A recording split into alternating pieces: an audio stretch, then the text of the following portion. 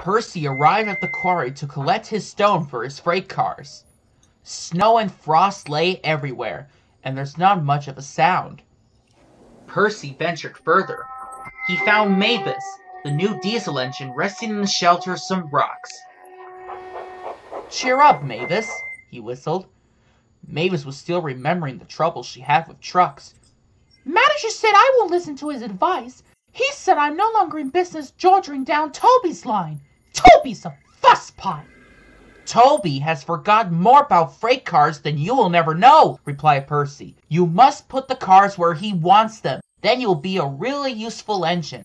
Now, if you'll excuse me, I have to take these stones to the harbor.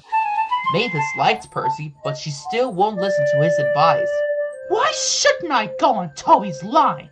The siding arrangement was awkward. To put the cars where Toby wants them, Mavis had to make several journeys.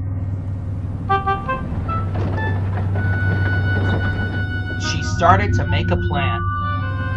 If we use the teeniest bit of Toby's line, she said to her driver, we could save all this bother. Her driver expected nothing, but allowed them to go as the first level crossing.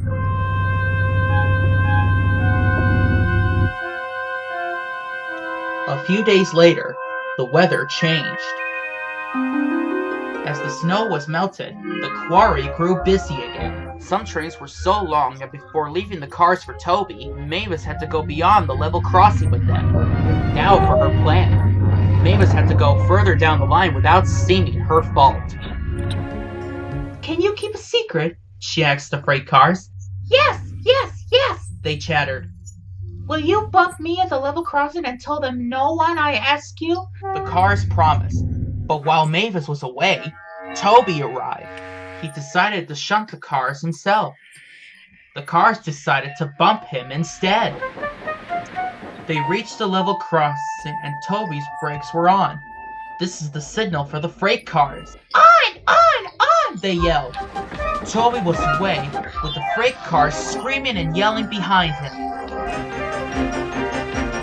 No one realized that the melted snow had caused the stream ahead into a torrent, and the bridge above it was about to collapse. The rails were now like a tightrope across the thundering water. Stop! Stop! cried Toby.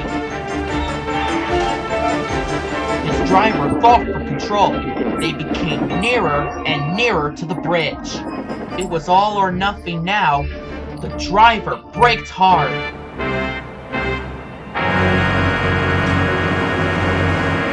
Toby stopped, still on the rails, with his wheels onto the tightrope over the abyss.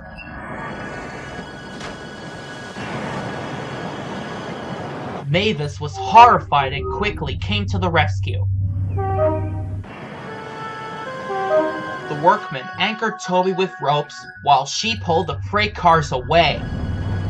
Then she held Toby back to safety.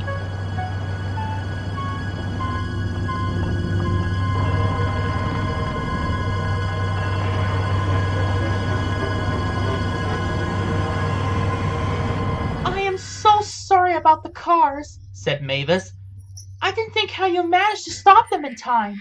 Oh well, said Toby. My driver told me about circus people who walk tightropes, but I didn't fancy doing it myself. Later, Sir Topham Hatt arrived. A very smart piece of work, he said. Mavis, you did very well, I hear.